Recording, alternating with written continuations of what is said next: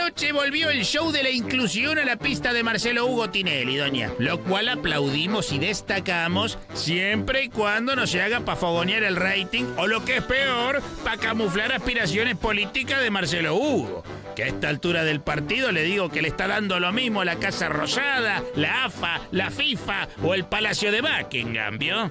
Inclusión también es hablar de lo que sucede y hablar de las cosas como son, con, con- con las palabras justas y necesarias, no es ocultar. El rumor que hay dentro del edificio de Ideas del Sur es que vos hace tiempo que hablabas correctamente y que solo tenías dificultades en el habla cuando te presentabas en pista. Porque este programa Sin Querer es un programa muy inclusivo. ¿Está chequeado? Es un programa donde vos estás dando el ejemplo para que otra gente contrate a una chica trans bailando. Eh, Para que una enana Noelia en un momento pudo, dejó de ser enana en cinco minutos, pero es por la grandeza de ella, pero porque hay alguien que tiene la generosidad de contratarte para que vos demuestres lo que sabes hacer. Si me haces el uh, si me haces el uh, si me haces el cuento que no tienes tiempo. Cuida el tono cuando decís por ahora, díganme señora Noelia Pompa. Yo no te voy a decir nunca Noelia Pompa. No especules con tu estatura, mamita, ¿eh? Porque de la victimización a la superación hay un paso muy chiquito.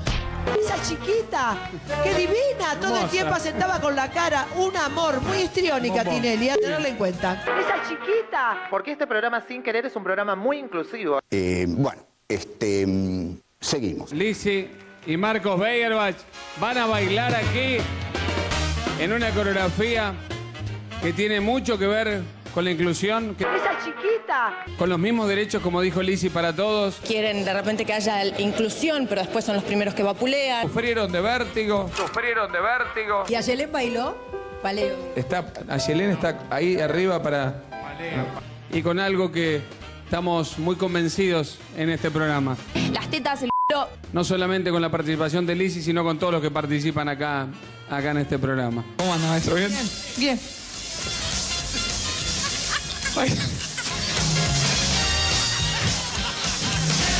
Mire.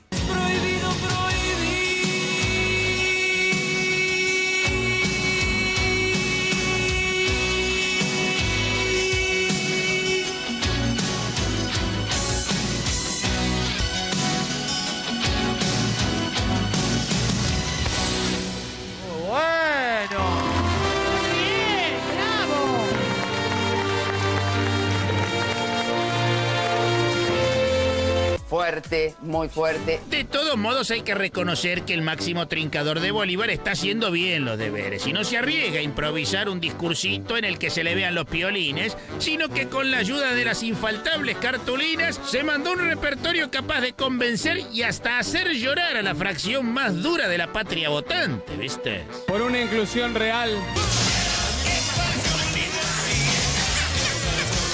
Para que no haya más excluidos de ninguna índole. Quieren de repente que haya inclusión, pero después son los primeros que vapulean. Fíjate esto. A partir de este momento, transmiten LRA Nacional junto a todas las emisoras que integran la cadena nacional de radio y televisión de todo el país. Y una de las inclusiones más grandes que tiene que tener el ser humano en la vida es estar incluido saliendo de la pobreza o de no tener trabajo.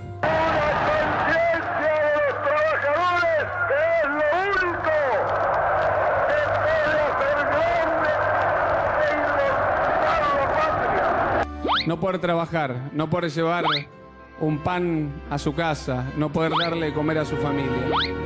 Evan, lee el teleprompter rápido. Está bien todo, solo léelo. Y en un país que todavía nos peleamos por un lado, por el otro, de qué lado estás, si sos de aquel, si sos de este, quiero decirle que ojalá nos pongamos a trabajar cada uno desde su lugar. Y quiero decirles que yo adoro el cha, cha, cha. Los políticos en el lugar para lo que han sido elegidos, nosotros desde los medios de comunicación, ustedes trabajando todo el día para tratar de generar trabajo, para tratar de sacar de la exclusión a la gente. Hay un hombre que habla de frente, con propuestas claras. Este año no vamos a asfaltar las calles, básicamente porque nos chupa un huevo. No hay discusión de eh, si son planes sociales o no planes sociales, porque los planes sociales me parece sumamente importantes en un país con índices de pobreza como los que ha tenido este país en los últimos años.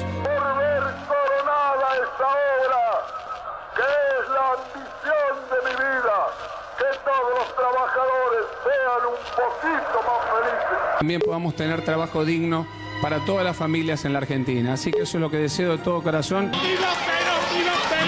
No sé, no sé, no sé, no sé, no sé, no sé, no sé, no sé. Tweet de Marcelo Tinelli. No sé, no sé, no sé, no sé, no sé, no sé, no sé. Ja, ja, ja, ja. Amo la industria argentina. Amo que la gente tenga laburo, que se generen nuevos empleos, que abran fábricas. Lo mejor está en casa.